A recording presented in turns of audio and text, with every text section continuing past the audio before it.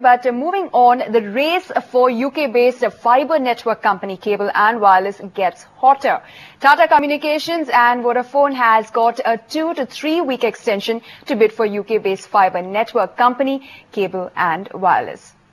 And uh, Russian corporate house uh, Sistema, which operates MTS telecom services in India, says they will rethink on fresh 2G auctions given the conflicting views emerging post the SC verdict. The Russian government-owned uh, company expects Indian company, uh, government to protect their interests in the country and provide compensation for the damages caused.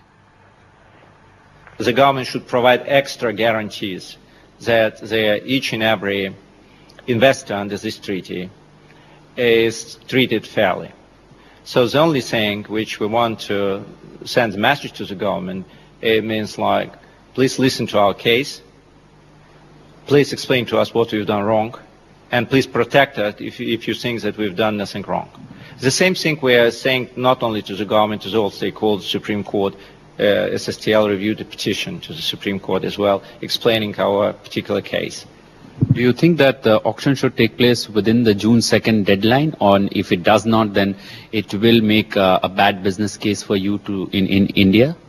I mean, like, if uh, everybody, and including the government, said that the Supreme Court's uh, decision should be implemented, should be implemented in full. Their decision of the court is to accomplish uh, the auction of the frequencies which uh, revoked from the um, from uh, uh, their operators by June 2. Why it's important for us? Because this decision of Supreme Court on business level create a lot of uncertainty.